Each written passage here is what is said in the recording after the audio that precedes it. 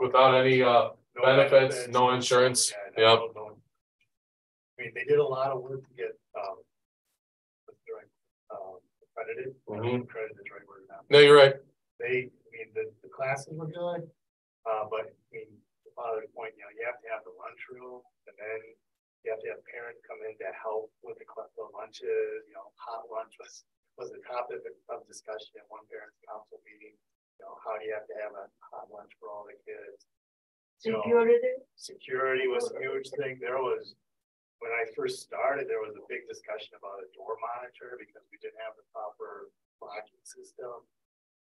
Um, That was a lot, there's always a lot. the drop off zone, some people using it as a speed, speed trap and, you know, throw the kids out, other people coming in very slowly. I, and so th- thanks, Greg, for those points. I guess to your point. Um, Elia, that I think about sometimes is, um. So parochial school, maybe it doesn't have to be parochial school, but it's like in the education method. Um, we look at our group, right? We're always like the same, like maybe max 10, 15 people or whatever. Sometimes more, sometimes less. Um, I think that's always a big sticking point. That unless it's something that they have to do mandatory, how do you change an attitude where people are then called to learn and to grow? And I think that's where we struggle because. Uh, it's not a desire, and so that's when I talk about like 2.0 church. You know, you're almost talking about. Dare I say impossibility? Why I say impossibility? Because obviously nothing's impossible with God and we have faith, but my goodness, to think about like we're trying to move mountains for growth. You gotta look at like churches where their whole essence is missionary and proselytizing. When I say missionary work, I'm not thinking of hypothetical like have to send someone to Africa. I mean, even local missionary work to preach and spread the word and then to welcome. And then, but you gotta have a, you have to have a strong knowledge of your own faith. I think that's where we, that's our first problem.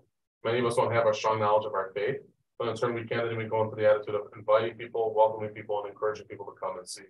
And so that's why I think about like 2.0 is I'm like, wow, what, what, what can 2.0 be? You know, what am I offering to the community? What am I offering to people? Um, what am I offering to, you know, those who, who want to desire Christ? And if, if I'm showing a community, like, here's an example. I've had some people inquire, like, hey, you know, I'd like to come to your Bible studies. Like, hey, great, come. Uh, they're like, why do you call adult, adult spiritual enrichment? And then I have to tell them the truth. And I'm like, well, realistically, it is Bible study, but we had just gave it a different name to spice it up. Like, you guys need to spice up Bible study? Now, this was someone who was not Orthodox, definitely a Protestant background. Because remember, that's their whole, that's their gumption. I mean, when they have Bible study on a Wednesday or a Tuesday night, right? And then they have their prayer service or whatever over the weekend with their sermon. I mean, that Bible study is a part of your worship life throughout the week. My goodness, us, you can make up, call whatever you want and um, do what you got to do. And sadly, we can't do it because people don't recognize or see the necessity to want to learn and grow. That's when I question about the 2.0. It's not that I'm questioning that there's doubt. I want to see a parish that's at a large stance, like us five, six hundred families, and what they are doing is a 2.0 parish. And sadly, everyone always constitutes the money. I don't care about the money. I care about the core. What is the core of the church? What's its goal? What's its vision? What's its mission statement? And what's its drive? And that's where I try to kind of dwell and understand that capacity. Um, just for thought. I think about it myself too, but you know, that's reality. That's why, who knows? Maybe we are the pioneers. Uh, maybe we are, and we are very blessed. I mean, I look at a lot of stuff. I don't have to struggle to think about, hey, we're going to pay next month's bills. Hey, you know, I- when I was thinking of Chicago, I remember Father Colson and I would talk, like we'd have to turn off the air conditioning during the summer months in the church so that we could just save money. I mean, that's pretty sad. I mean, literally just to have the air not going to circulate. We, I mean, we're talking about, we're talking about extremely frugal. you know, churches in Greece don't have air conditioning. They open up the side They door. also don't have, yeah, but they also, Christianity has survived nineteen hundred years without air conditioning. I don't want to hear that. correct, but they also don't have the sizes. They don't have, Yeah. they don't have the demands or the lives that our churches have compared to them as well too. Plus, most of those churches in Greece were actually built better than our, our common churches now. Look at St. Demetrius. St. Demetrius was a, uh, it was a Jewish parochial school that was converted into a church. It's not sound to be Which one? St. Demetrius, Chicago. Oh. Uh, it was, it was Yeah, not, most of. St. Andrews used to be a synagogue, uh, St. George's was the Lutheran Syrian. church. You know, very few of them were built in the city and were built as Greek Orthodox church. So that, so, you know, those are, so like, those are, the- well, even our church, like our church, I've talked a lot of, uh, I talked a lot of HVACs, and you know, what's one thing that kind of hinted at me as well too? They said to think about is to put a large or some type of fan in the middle of our, our tube ceiling. So that we could just circulate the air. He says your air from the, the, the tubes that pop out of the, the, the cylinder of the apse of the nave of our church. It is literally a twenty-five to thirty degree difference. You know who gets the most effect of that? The choir loft. They have absolutely no circulation up there. And I didn't think about that, but and then he says, if you just circulate that, that's also gonna circulate going towards the ground level as well too. And that might be something that, okay, we think about. I've seen other churches that have fans. Or if we figure out something else, because it's just. It's the thing, and then the other thing we have to do, he tells with like our church as well too, is that we have to keep the flow of the air.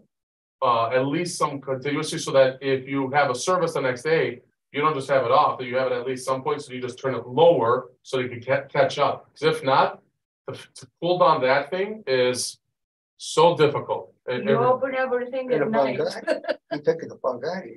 It's well, I think the Bangladesh, this is my own It's personal so thing, shitty. yeah, but the Bangladesh has an issue. I think it actually has a legit ventilation issue there.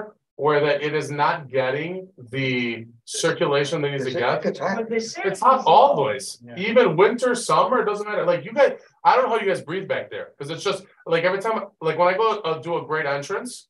And I walk through there, and I'm like, oh, like it hits you.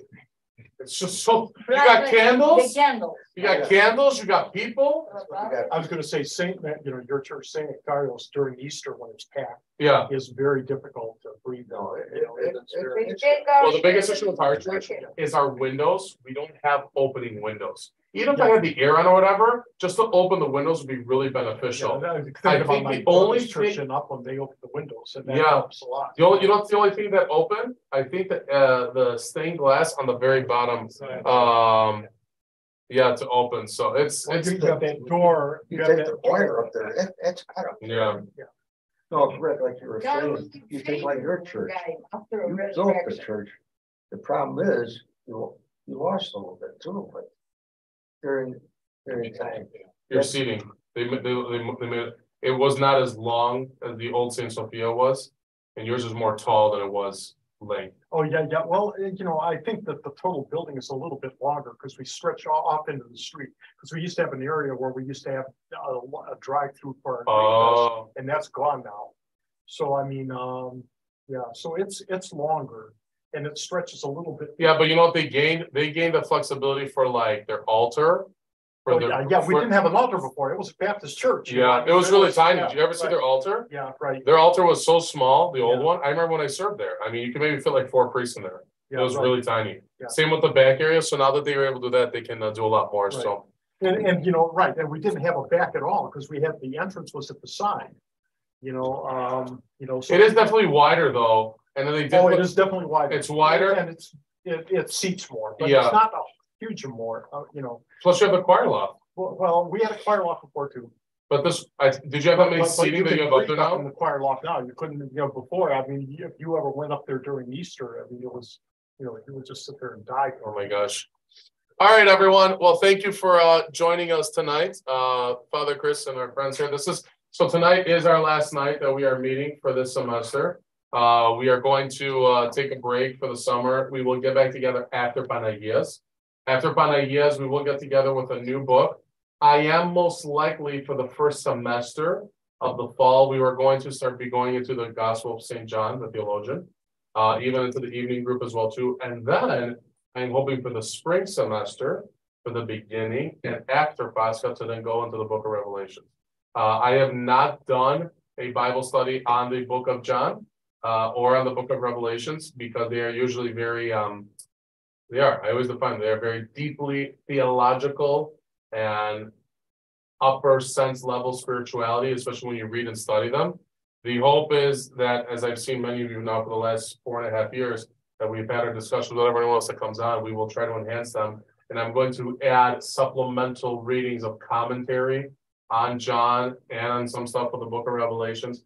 Just so that when we read them and study, because we probably will not get through the entire books, both in both semesters, possibly the book of Revelations because of its details. Um, possibly we'll finish in the spring, but Pascha, Pascha's late next year, Pascha's May fifth. That means Pentecost next year is on our, on our festival, so get ready to kneel and then make some like, yeah. Um, but yeah. When I was in school, uh-huh, which is a long time ago, Really, uh, they said we are not ready to understand the revelations yet. yeah, that's what everyone says, but at some point you gotta look at it. Now sixty years later, we- we- They say that, all they say that all the time. I remember my dad too. I used to ask my dad about the book of Revelations and even John, but you gotta understand, he let me, he let me read John. Now, as I was a kid, and then mind you in ancient Greek, I didn't understand it. I was reading it. It was more to like kind of get my like my Greek and my language to kind of start flowing, but I wasn't comprehending what I was reading. I, I understood some stuff like, oh, this means this, I get it. I understand what this chapter is about, whatever, but not to the detail of like theo- theology. And that's why he wouldn't let me go farther because like, okay, that was enough. So I read the four, got read the four books in ancient Greek. The hardest for me was Matthew because it's so long. And to read all the genealogy and stuff like that, oh my gosh. Mind you, I was reading It's the, not the Revelations, only John is in Revelations, right? what? John, John Revelation. Yeah, but I'm not talking about that. I'm talking about the four. And um, and the reason why I read the four was because I got in trouble. My um, I did something or that it was like I was getting in trouble, and then my parents didn't know how to punish me. And it's like I was also like playing video games then, so it's like, well, we put him in his room. He has a video game, so gotta do something. So my dad being an iconographer, and he'd be like, "He's like, okay, why don't you start reading?" I always had to read while he was painting, so he could hear what I was saying. He would correct me. I remember the first, oh my gosh, the first few days I was doing it, it was torture. It was like an abyss because every word I was butchering. It was this, that, or whatever. It was just butchering, and I'm like, "Oh, this is terrible. Literally, it's like it's like it's like um like you think of like at school, and it's like do do do wrong, next, do it again, uh, wrong again. I'm like, which one am I saying wrong? You'll figure it out. Like, okay. So then I figured out like the bigger words or whatever, and uh, wherever the tono is. But um, what ended up happening is then I started getting a flow, and then I started seeing it, and I started recognizing. That's actually really what helped me to understand and how to read the scripture better. Uh, but yeah, it's yeah, in Greek. English is English. And he's like, he knew it. Well, then what he'd do, he would then bring an English Orthodox study Bible and he's like, look at them. He's like, try to compare some of the words so you can understand it. But, you know, he would give me a, a short exegesis. But my dad's not a true theologian. He has studied himself. I do give him a lot of credit. He knows a lot more than most Orthodox Christians do. But, you know, to really offer an exegesis of scripture, you have to have multiple viewpoints to understand context, to understand language, to understand words, so you can actually get how it was compiled, why it was compiled, and for what do we gain from it from there. So uh, that's what was. But mine was what 11 years old. Again, it was realistically a form of punishment, but uh, a punishment that I know to this day I gained something from because obviously I still remember it. And uh, my like I said, my funny I don't know if I ever brought up my funny stories about it was even when my dad was taking a nap, I'd read it next to him. So I could pretend like, oh yeah, I read the Scapalo, that's done. He's like, no, you did. I'm like, yeah, when you're sleeping. He's like, that, that doesn't count. I'm like, well, I did it. So then, and by then, so the best part of it is I did the whole thing, and it took me maybe about a month. You know, whatever evenings I was there with him. Because obviously I had other activities or sports or whatever, but it was took me about a month. All four chapters, all four gospels, right? But I was doing a lot. Just and mind you, I wasn't studying, just reading. it's not enough. For the New Testament, Yeah, for the four books, but I was just reading. You understand what it? It's like it's. I'm not even comprehending. I was 11 years old. You know, on the basis of this and this theory that all wisdom comes from God and the divine wisdom. That's all I was doing. I was just reading it. Oh, you couldn't understand. it. I wasn't paying it. I put no effort to understand it. Now I If understood. if it was in ancient Greek or the, you know. Well, yeah, I mean, it's it's what the Iconography is written in Greek now. You know what I mean? It's the same thing. But I didn't understand to comprehend. He would say some stuff or whatever, fine, but you know, and then okay, and there are some stuff where it's simple, where we're talking about like you know John baptized. Okay, I get it. You know, those are not that hard. But like John and uh, I liked Mark because it was short. You know, you're just going through. do. But like Matthew was hard and just trying to do it. And uh, again, like I said, respectfully, it was a form of punishment because you know he saw that I he literally. I used to laugh at my dad, and he sometimes would tell even other people, he's like, I don't want you to become a water brain. I'm like, what does that mean? And what he was trying to say was like, he doesn't want my brain to become mush, right? So he's like, I don't want you to. He's like, I don't want you to be a water brain. He still to laugh. And I didn't know what Hydrocephalus. is that a term though? Yeah, that is. People would call it I'm Trying that. to think what that would be. So it'd be a water brain. It's, it's a disease in Liver America. capillary. I- I had- Liver I kept- Yeah, water, but I mean, water in your brain. I've heard it. Yeah, it is, among other things. Yeah, but is it defined as like being like stupid or No, much There is a disease, it's, it's associated with, um. stupidity? with Those stupidity, kids yeah, have big yeah. heads, and you know, Yeah. yeah. Yeah, that's, I think that's, what- I think that's what's implied, but I never understood, I'm like, why would you say that? You never said hydrocephalus, you spoke full Greek. Yeah, xenocephalus, I know, yeah, More, yeah. yeah, but that's stubbornness compared to. Look, he's, he's, he was trying to imply that I was gonna become stupid by playing video games, which in truth that is, because you're just, it's mind, it's mind numbing, it's mindless. That's what video games do. Video, video games is better, We than- is better out. than television. Because television is just happening, you know, at least video games, you've gotta make decisions.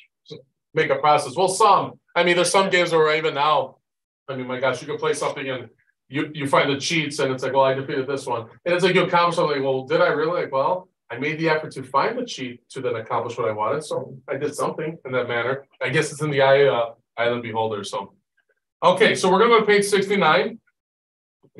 And these are the ones that we were talking about last week where this is really like a Q and A. It Says the, nec- the necessary attributes of a spiritual shepherd.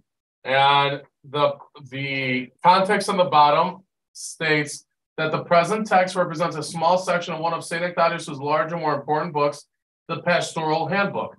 Published in 1898 during his directorship of the Rizarios School and named primarily in his students for their use as a textbook of pastoral theology. It has been argued that its contents bring the saint into line with the great fathers of the church who penned works on the priesthood, such as Chrysostom, St. Gregory the Theologian, and St. Simeon of Thessaloniki.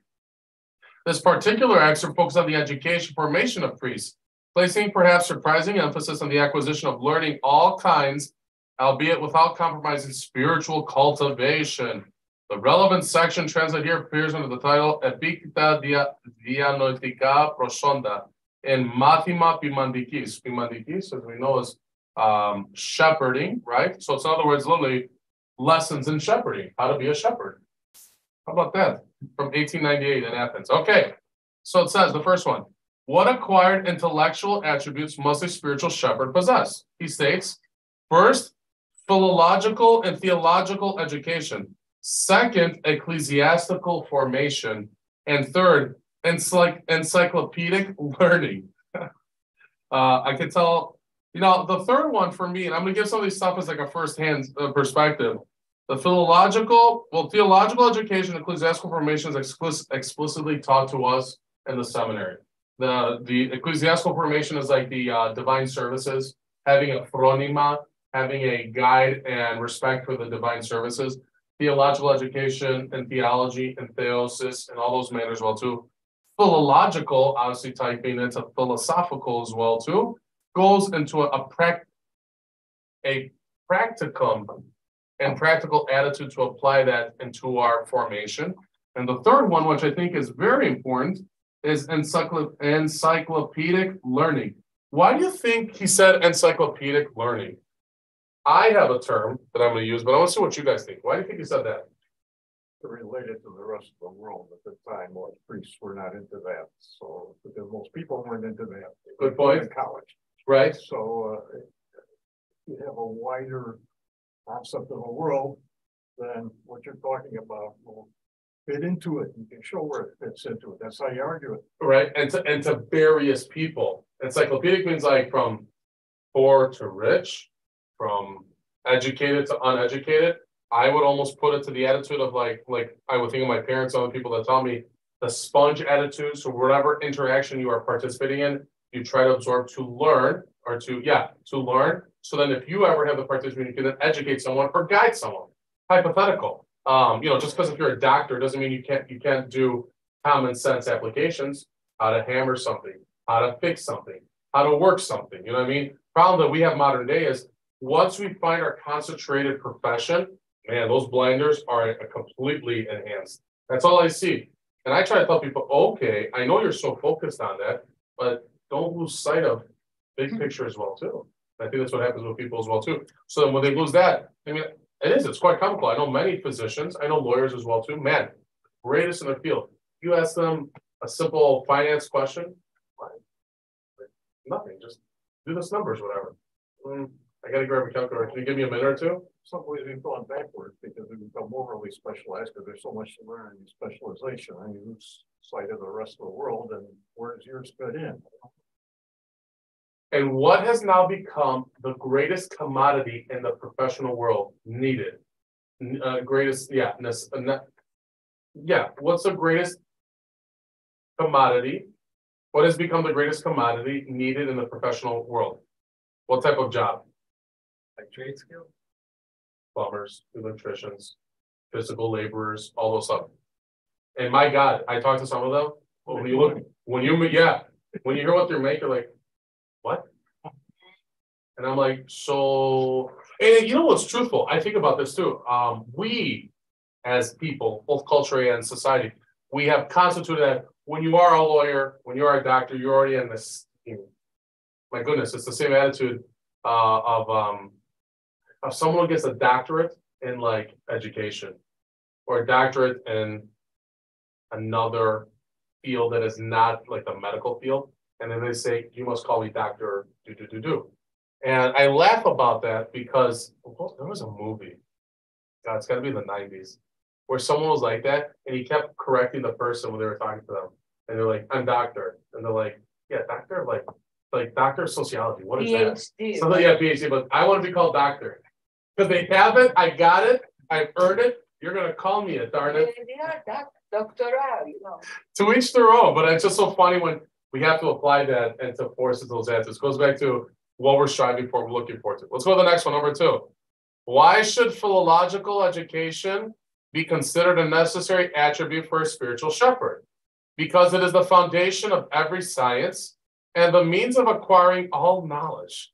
It cultivates and readies the mind, rendering it a suitable instrument capable of contributing to the successful accomplishment of the spiritual shepherd's holy mission. I'm in awe that this comes from a hierarch of the church. Yeah. I think that's what this is blows me away. If this was like a general theologian that was not an ordained clergyman, I would have seen this is a normal statement. But to come from a hierarch, a reputable hierarch that he was originally before he was slandered and everything else, in 1898, mind you, is pretty profound. What is this holy mission that a spiritual shepherd seeks to accomplish? Okay, first to shepherd the rational flock well, which has been entrusted to him. We are given, by the way, that flock to shepherd at our ordination to the priesthood. When the uh, presiding bishop gives us the amno, which is the body of Christ that is on the paten, the vishko, after it's been consecrated, and he gives it to us and he tells us that we are to keep this and to return it back to our Lord when he had when he asks it of us at his dread judgment seat and his second coming.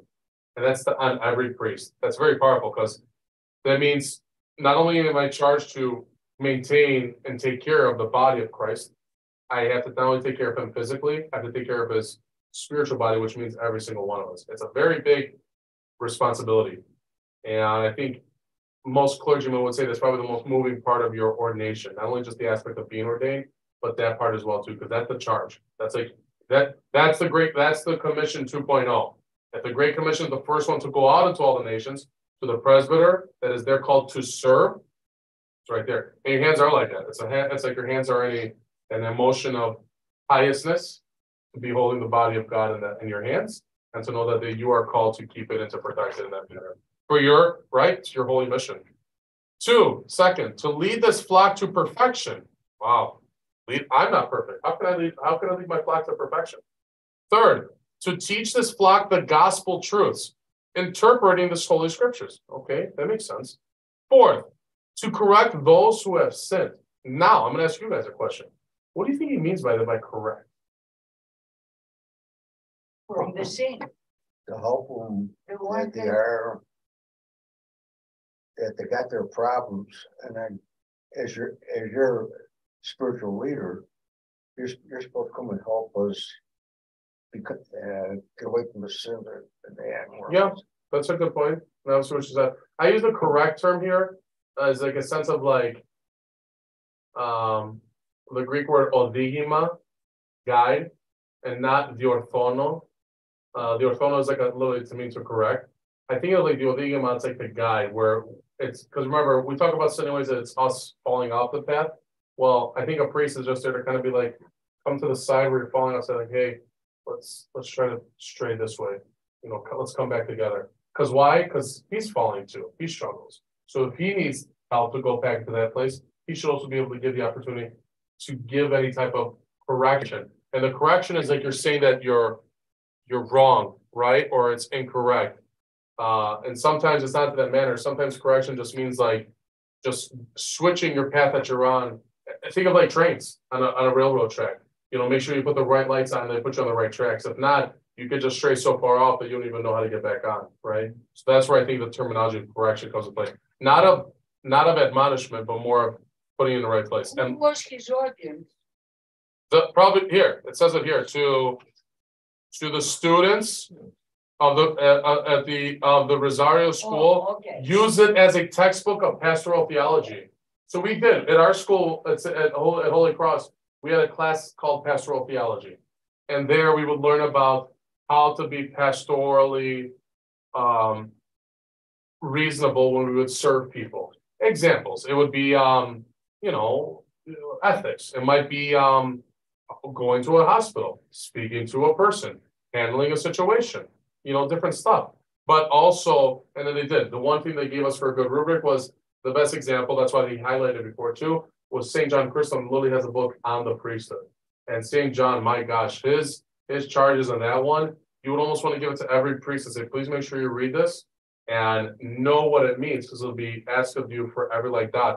Like even here, this could be the checkpoints of every priest, what they need to have on their day-to-day basis. Because then I have to follow these accordingly. Because that's what you're called to do as a priest. Now, I know this means for a spiritual shepherd, right, as a hierarch, but we are representations of that episcopal in our parish life. So then we have to participate in this. It says the last to continue the work of the apostles. And what was the work of the apostles? The Great Commission to go out into all the world and to baptize in the name of the Father, the Son, and the Holy Spirit. Question four Is it possible for the bishop to fulfill his office, his holy mission, if he lacks education?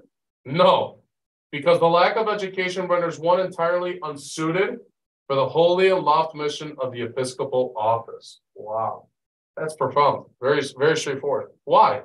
Because the lack of education betrays ignorance, naivety, ineptitude, a lack of spiritual cultivation, and the like. How can one who is unlearned, one who is guilty of the charge of ignorance, prove capable of all those things his pastoral efforts are to be turned toward? Such a one essentially brings ruin to the church's holy mission and clearly frustrates and works against the hopes and expectations of the very flock which he is called to shepherd. Wow. Then it says, is someone who is unlearned, uneducated, fit for the pastoral office then? No. Who should be considered fit? One who has learned, who has broad knowledge, and who has achieved spiritual met maturity. For the learned and wise spiritual shepherd alone always acts as is meet and right, bringing to fruition the divine end at which he aims. He alone builds up, supports, and benefits the Christian people that he shepherds. He alone succeeds in advising, admonishing, rebuking, both privately and publicly as proper, and in consoling as is needed. Be ready, the apostle enjoins, in season and out of season, convince, rebuke, exhort with all long suffering and teaching. That's from uh, Timothy, uh, the second book of Timothy, chapter 4, verse 2.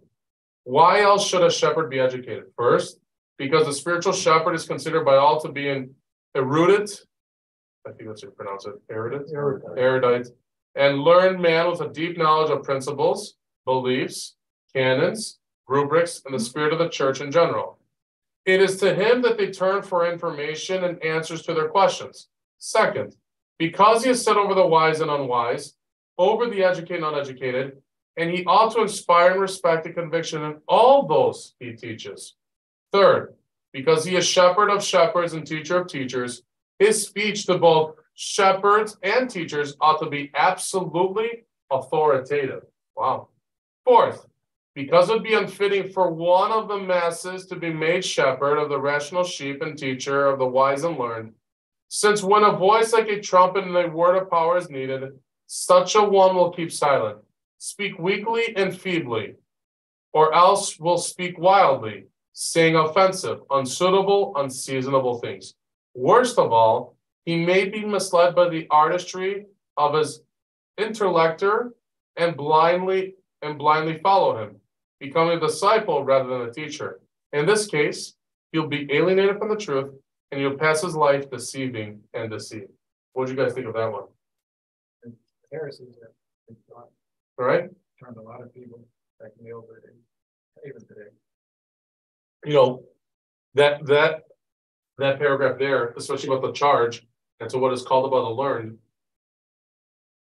You know, whenever I've heard the the the the theory and ancient idea that they say that the the road to hell, to Hades, is paved with the skulls and the bones of hierarchs, priests, and false teachers, makes a lot of sense because we we're called to serve and not to be served.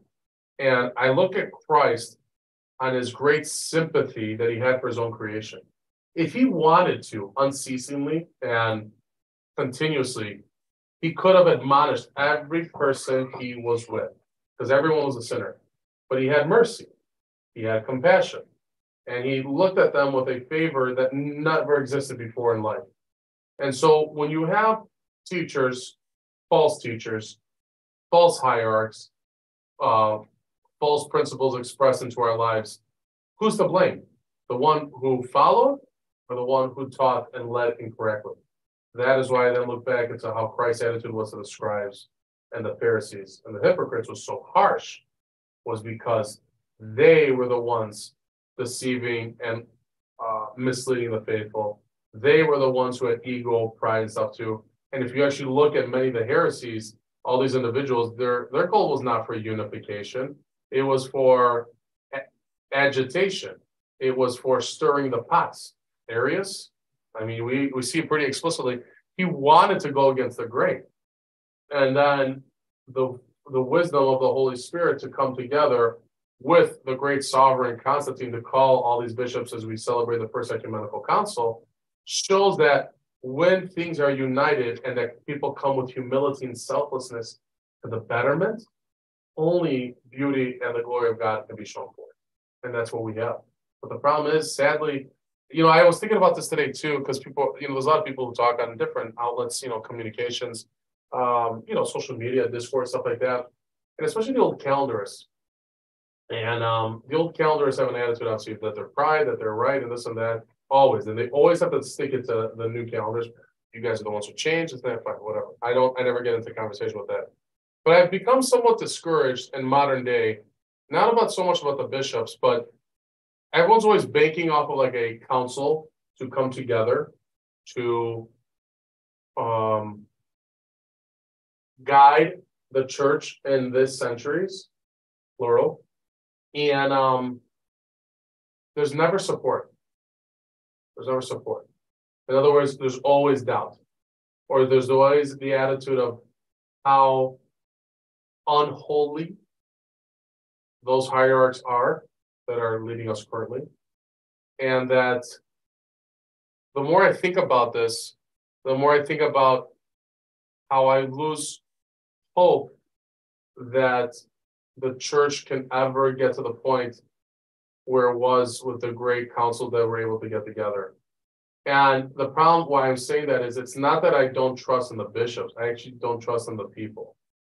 I don't see an attitude ever where people will be hopeful that hierarchs who they look up to will come together in a sense of humility and selflessness to bring modern day issues to a present level, discuss, and then establish proper canons and guidelines to help the modern day Christian. Because if you look back, we still have canons that date back to the Seventh Ecumenical Council. And we know the seven great ones. Other than that, they're all titular councils that, oh well, hearsay, whatever, you don't have to really obey and follow to the nth degree. And then you'll have modern day councils like you the one in Crete. It was more of a synaxis, it accomplished nothing. Were they able to talk about social ethics? Were they able to talk about the issue of cremation. Every day I get that talk from some Greek. And what about and this and that? And it's the same thing, there's no answers. There's no answers. And now we got new things, we have new sciences, we have new forms of technology, we have new forms of birthing. Who's gonna get, what do we do, go back to a canon from the fourth century? That says, you know, use leeches for medicine? Mhm. I mean, there, I read it from someone's article today that, you know, how we're, co- but the problem, then there's also a problem in the, in the underlying, that we have canons as commandments. That we take on a canon of the councils as commandments, the ten commandments that God has given us. Well, this is what it says, if that's the case, I would be excommunicated. I would be the defrocked, and I would be the post For what I've done, you know, the person said it was pretty funny, he's like, you know, um, um. uh, You know, for a priest to go to a pub and drink with someone, that, that would be grounds for being excommunicated. Because I always remember reading, I used to laugh, um, if a priest is to ever be with a Jew. And participate in something with a Jewish person, they are to be first reprimanded. And then if they continue it, then they are to be deposed and deprived. Go to Jewish You know, doctor. Yeah, go to a Jewish doctor. Remember? But they don't go, uh, they don't communicate them. We, I know It, well, bishops in gay bars. uh, yeah, but, but, but it, it's not, it's not the practicality to modern day. What do you do to the modern day, not only for priests, but for the faithful? Because realistically, you do realize one of the greatest struggles of modern day Christianity is there's no uniformity. There's no, this is how we are to work together, this is what we need to do. Because you can come to me, I'll tell you one thing, you don't like it, and go to another priest. Oh, he'll say this, and it's a little bit softer. Or you another priest, he's a little bit more harder. I know this priest allows this, I know priest allows that. You know, you get all those excuses, then what do you do? Hmm? We're allowing, Educated. we are allowing division and dissension to come into the church. And that is why the foundations and structures are weakening, because we are not coming together. And then the problem, the worst problem of it is that all that is existing right now is the attitude of ego and a false education. I think a lot of our hierarchs now, even us clergy, have a false education to whatever context serves us. Look up, can, I, that's why I said, I cannot see a, a, a, um. A uh, uh, an ecumenical synod of all the canonical Orthodox churches to get together. I mean, first of all, they have the enormous division of, of, uh, Ukraine, Russia. They're in a war, how are you gonna bring them together? Okay, you have patriarchates that don't talk to each other. Je- Jerusalem and Antioch have some division because, uh, um, Jerusalem put a bishop, a bishop in Qatar. How dare you? That's our lands. In Qatar, There's a lot of foreigners in Qatar, but including they Orthodox. didn't allow anybody there. Oh, no, Qatar is very, Eighty percent of Qatar is now foreigners. yeah, Qatar is very open now. Now, Same with Dubai. They- they- But yeah, it's- it's- it's- It's sad because then who are we to look up to? I said Sunday, you know, who are role models? When I hear this stuff, so sometimes we need a, a complete self-examination of top to bottom. Priests too, don't get me wrong, I'm not saying we're innocent. But this is tough because then who's gonna, who's gonna guide who? And in what manner? And that's why like, when you see of these situations, why I think I, I love, you know, I do because I'm in it, but I read stuff like the Archdiocese sends, like on uh, social media and says, oh, this is what the communicate comes from the Archdiocese, this is what they had at their synod meeting this month. What does that mean to a modern day Christian or layperson? Jack squat. You're in Palatine, Illinois. What does it have to do with you? I'm working, I'm struggling, I have my family. Why do I care what they do in Timbuktu? What does that guide mean? Does that help me? Now, I'm not trying to talk about the selfish manner. I'm actually talking about the general application manner as a Christian. That's why we know it's not like the Catholic thing. With their local diocese, they also get, they should get the local people. That's our problem, is that because of not only the patriarchates of how they are in size and where they're at. You know, it's almost physically impossible for them to understand every individualized thing. And they're really, their only conversation is their local bishop, right? Because mind you, that's how they worked in the past, right? We're talking about fifteen hundred years ago. They would send titular bishops to those dioceses, and then they would report what's going on and stuff like that. Well, Central America to to the patriarchate is night and day. Let alone language, let alone participation, stuff like that. We see the melting pot, that's why it's so hard in the United States. We have everything. And, and between and out, you know, outer. And they get their thing and what are they gonna do? It's hard for Greeks, uh, you know, in Greece to understand what, uh, religion is like in America. You know, and, um, you know, where you have so many different Christian denominations. We'll continue. Well, I'll ask a question. Any one of you, any one of you, And Even, and that's just counting any one of you had a relative in Greece? And they've come here and they've come to church. What, what is their experience to you? I don't have a- a relative. But from Latino side, The comment that we heard is that, um, uh, the Greeks in America are old school. That we still do all the old customs and that has changed. They don't do it as much.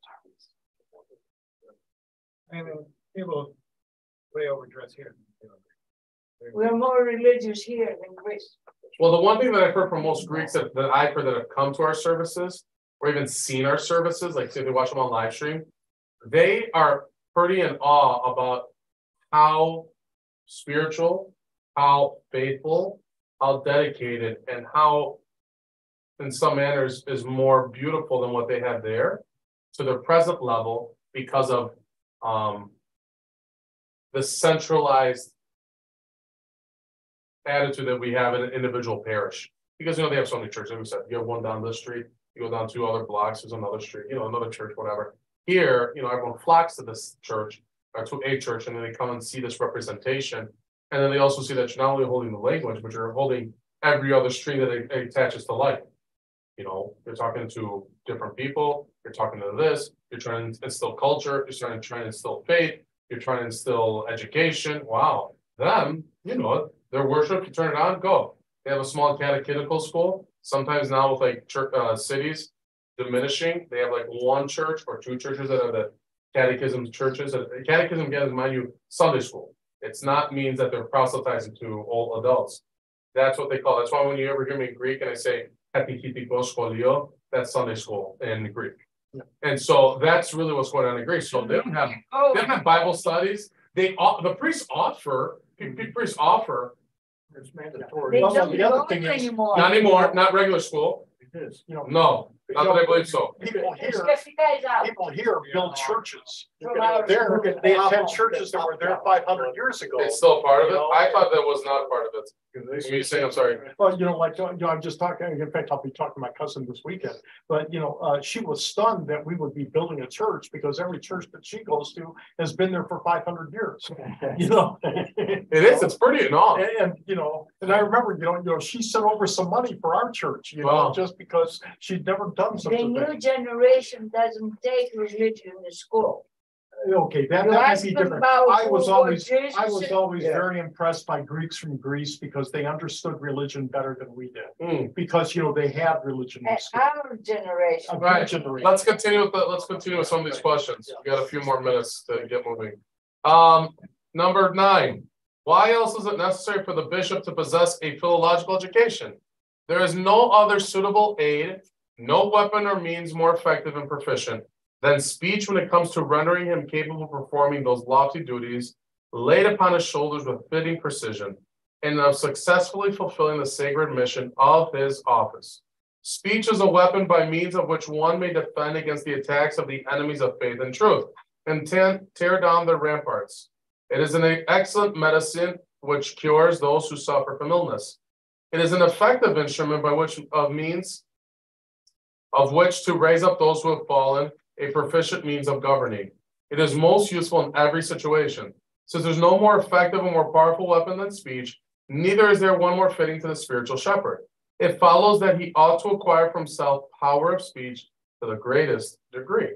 Wow, okay, interesting. Talking about law school.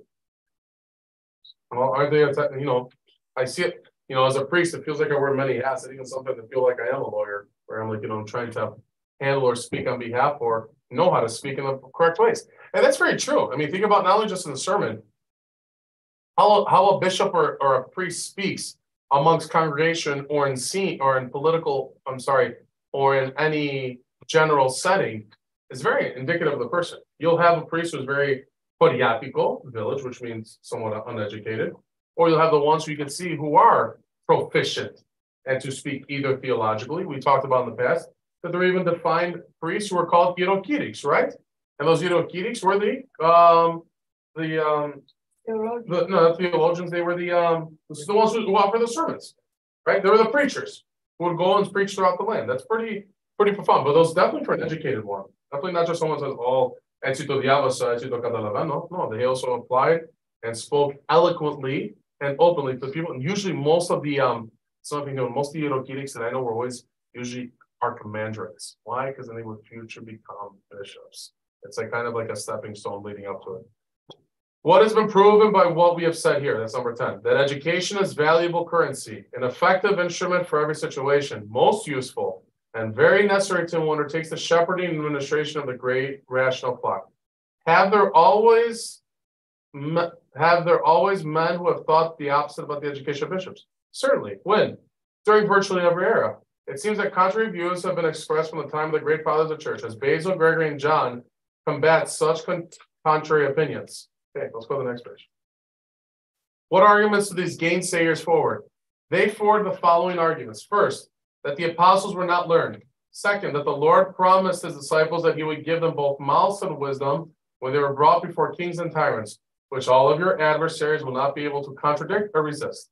The apostles say were, they say were tax collectors and fishermen and were thus untrained and lacked worldly wisdom. And yet they became piercing preachers of the gospel, drew the nations to Christ, overcame the profound philosophers, silenced the eloquent, eloquent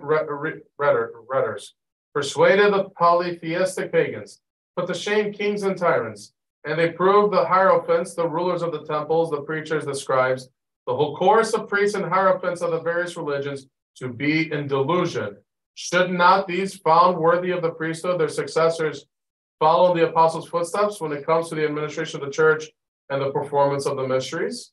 Our Savior enjoined, therefore settle in your hearts not to meditate beforehand on what you will answer.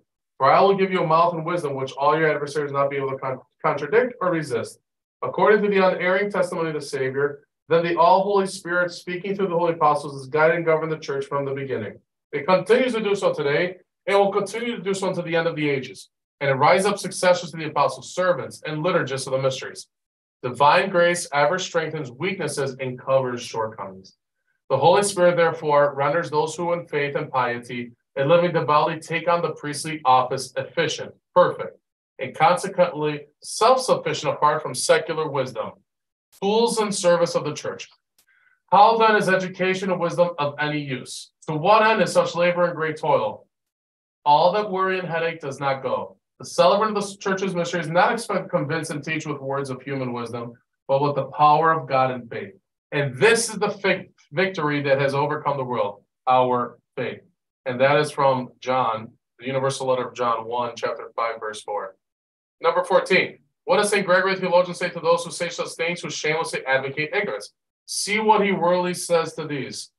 Give me but one thing. Can you exorcise devils deliver man from leprosy, or the dead from the tomb? Does the paralytic have his limbs restored by you? Or does the touch of your hand on the ailing drive out the disease? It is by those means that you'll persuade me to hold learning in small esteem.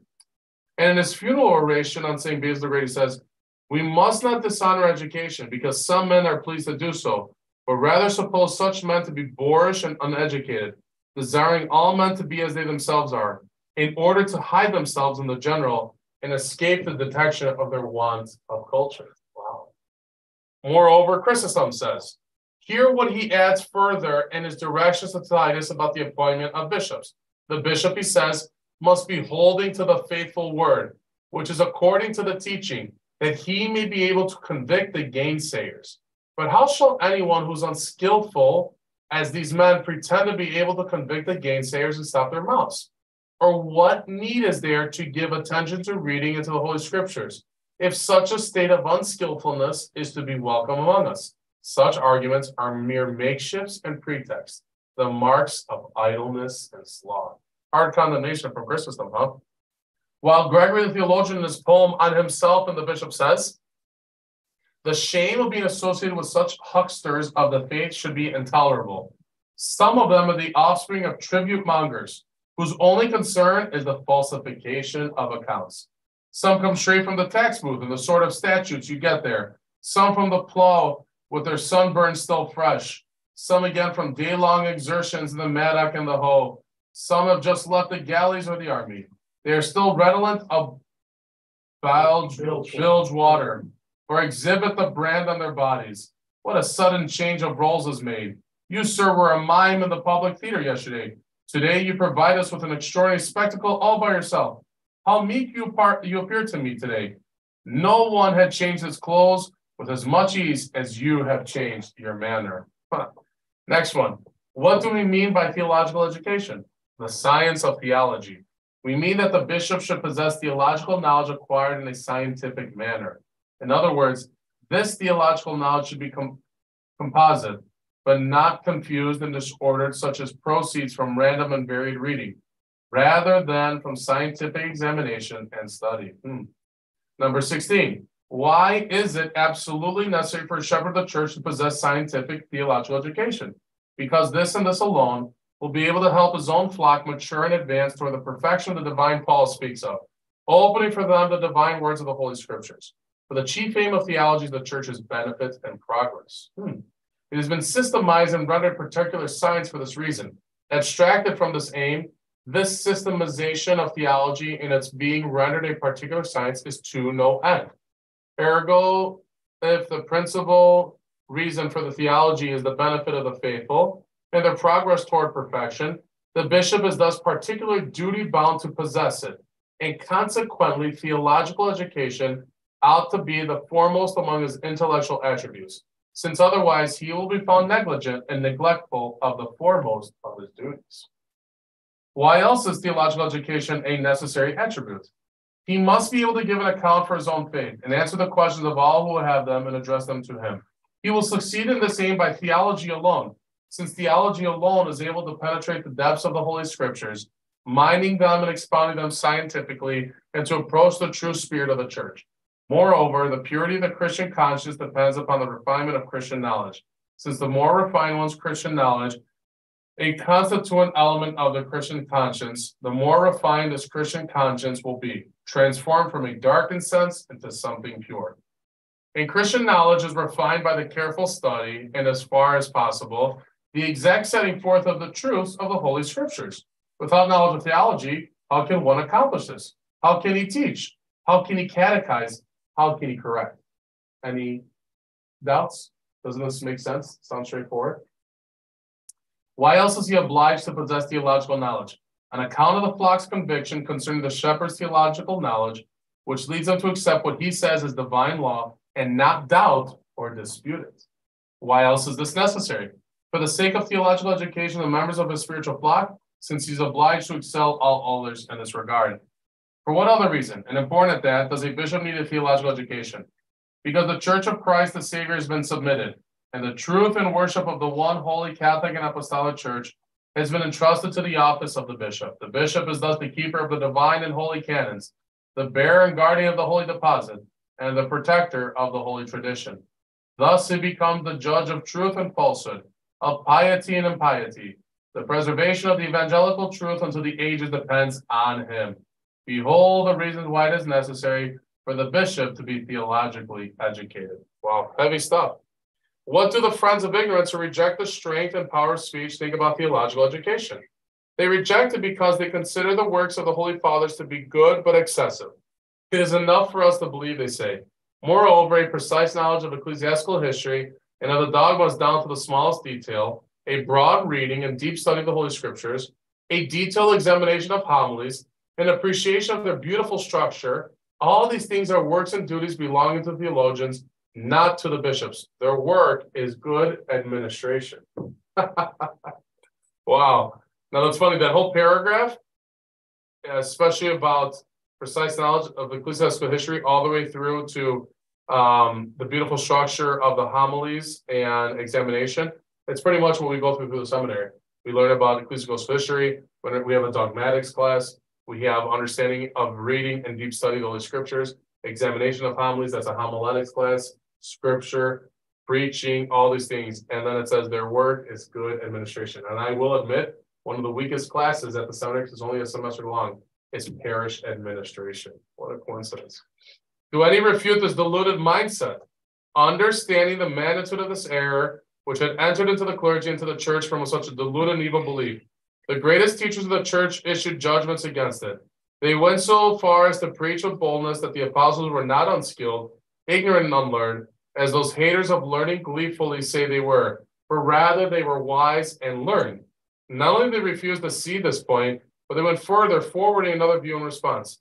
According to this view, it was not simply through their living and unshakable faith, nor through divine grace alone, but the holy apostles performed great superhuman works, but rather it was also the pers- persuasiveness of their wisdom and the power of their speech. Chrysostom says that the apostle Paul alone was a leader in human wisdom, while Gregory, the theologian, extending the idea, asserts that all the apostles, without exception, were armed with the weapon of speech, so as to more effectively reach the gospel.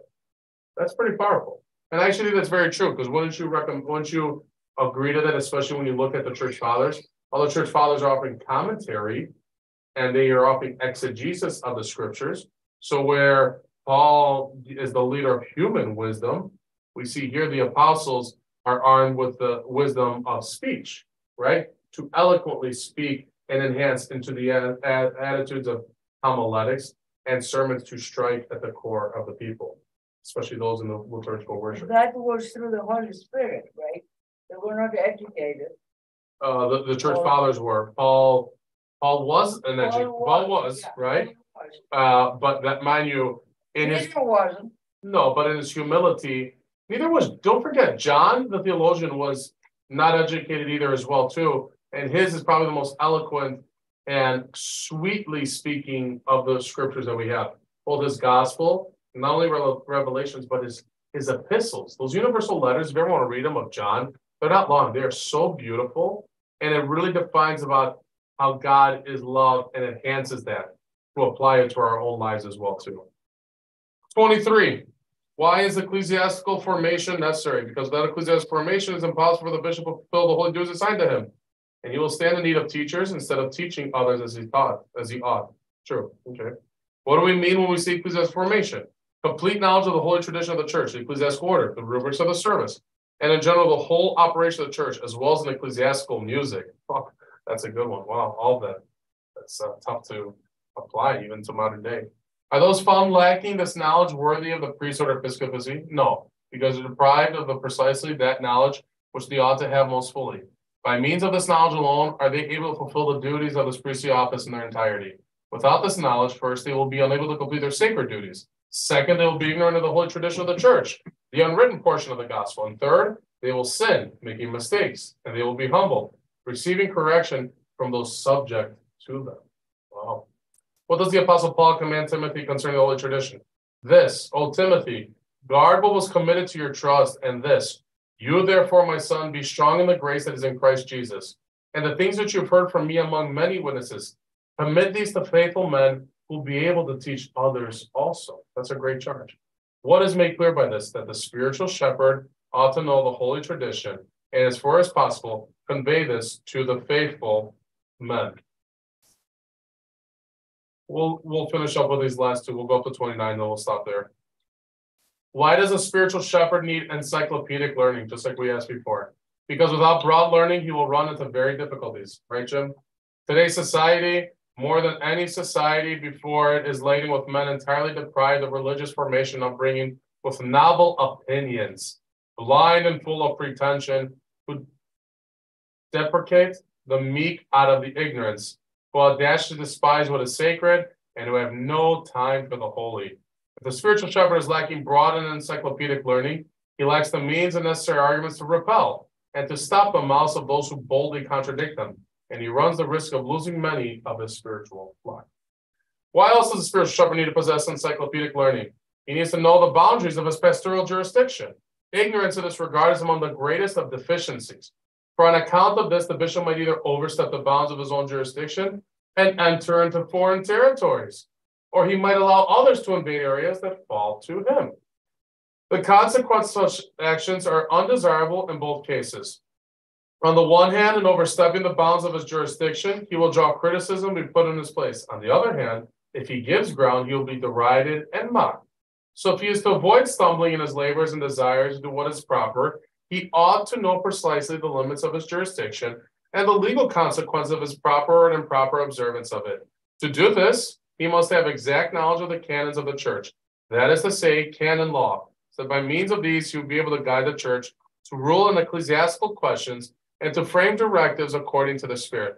It is not enough for him to simply to have experience of the canons and ecclesiastical institutions, because simple experience will not allow him to make faith lawful and reasonable application of these in practice, nor when it comes to legislating would allow him to produce things harmonious with the spirit of law as a whole or with the canonical consciousness of the church. Okay, I didn't realize we have one more page. Last one, we're done. Okay. Why else is it necessary to be a polymath? Polymath, Polymath. polymath, right? The bishop must be a polymath because he needs to know that the the beliefs of the heterodox churches, that is to say, their dogmatic teaching, so as to be able to refute these and to properly defend the dogmas of his own church. Also, the bishop ought to know the beliefs of those who attack the religious moral principles of belief in general, so as to be able to tear down and counter these. Encyclopedic knowledge is needed, then so that he might be able to repel any attacks of internal and external enemies of the church. To answer all questions with a convincing word and to put all towards sound teaching. The bishop who takes on the pastoral office today has a greater need of varied knowledge than the bishops of times past. In former times, the knowledge of the scriptures of the Old and New Testaments, along with knowledge of the pagan religions, was sufficient. Today, however, beyond the aforementioned things, and also one, uh, one also requires encyclopedic knowledge, because today heterodox teachings are greater in number and more systematic, and their, atta- their attacks are better, stronger, and strike everywhere. The shepherd of antiquity needed to fight against the heretics, but the war took place on his own field, because the heretics of that time did not deny the authority of the sources of the church's teaching, since they recognized both the Holy Scriptures and the Holy Tradition as such. He had to confront the Jews, but their arguments were able to be refuted and torn down using the Old Testament. He had to confront the pagans, but these believed in the existence of a living God and they recognized the power of religion. He also had to confront people who were entirely irre- irre- religious, irreligious. But the con- contest with these was an easy one since the attacks of the opponents were unsystematic. Things are different today, however. Today, the authority of the cr- sources of Christian teaching are attacked with the full force of historical, critical, and philosophical research. Research. The Holy Tradition is rejected.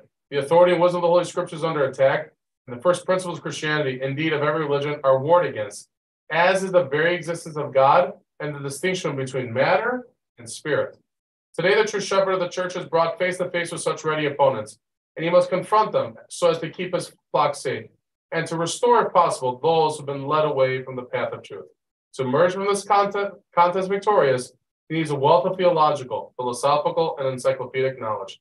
To counter arguments levied from the Holy Scripture and the Holy Tradition, he must have precise knowledge of these, together with a knowledge of the historical critical method, so as to be able to examine and expound upon these as his opponent does. Moreover, so as to be able to confront those arguments against the church and Christianity proceeding from history, philosophy, or physics, he must allow, he must also immerse himself in those sciences, thus enabling himself to give answer employing these. That's pretty, pretty strong stuff that um, St. Ignatius speaks about the role of a spiritual shepherd.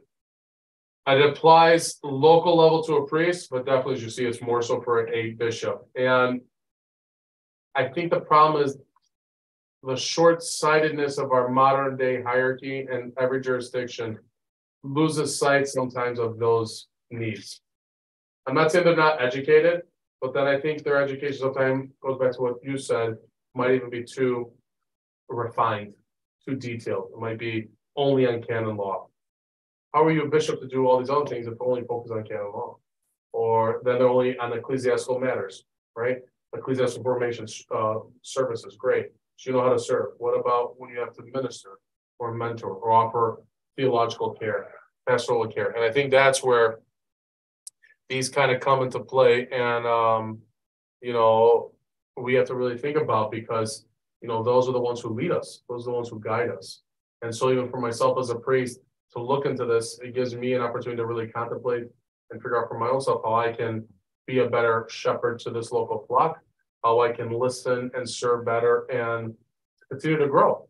I am not, I am not at a peak. I will not be at a peak. Uh, I don't want to plateau, because if I plateau, I become, I can then become apathetic, and then I can become lethargic. And then I won't have a drive to want to grow, to learn, so they can grow and to serve the faithful. And so that's something we all have to think about our own levels, um, uh, that we can really enhance and build from there, so. Um, that's it, guys. Uh, that's all that we have. I really thought this was an incredible book. I hope you guys really enjoyed it as well Will too. you say it in Greek? I don't know. I might get it in Greek. Yeah, I don't think they made it in Greece because it's excerpts from his books in Greek.